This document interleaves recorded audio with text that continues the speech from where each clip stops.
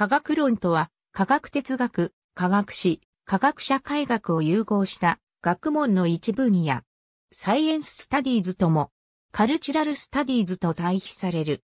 科学哲学や科学史の歴史は19世紀中半に遡ることができるが、科学論研究の基本的骨格が形成されたのは1920年代から1930年代であるとされる。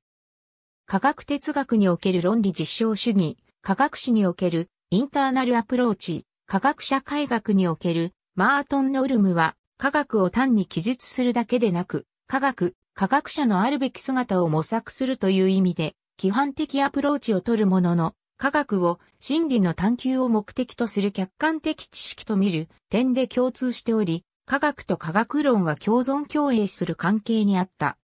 20世紀後半になって科学の産業化が進むと、より規範的アプローチが重視されるようになり、科学と科学者の社会責任、民主的コントロールが問題とされるようになった。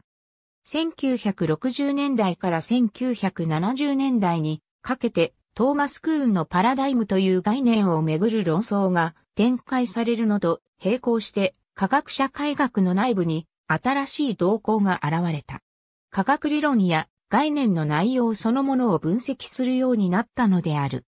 ロバート・キング・マートンらとの仕事の違いを示すため、これらの取り組みは科学知識の社会学と総称された。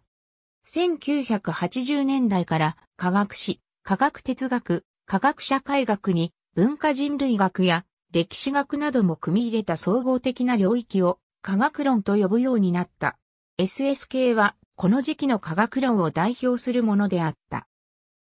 ありがとうございます。